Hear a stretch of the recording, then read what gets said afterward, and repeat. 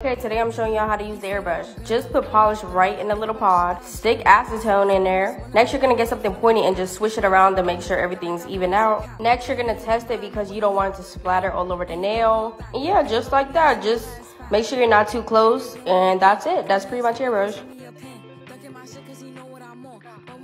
Beautiful, but y'all already knew that. Mm.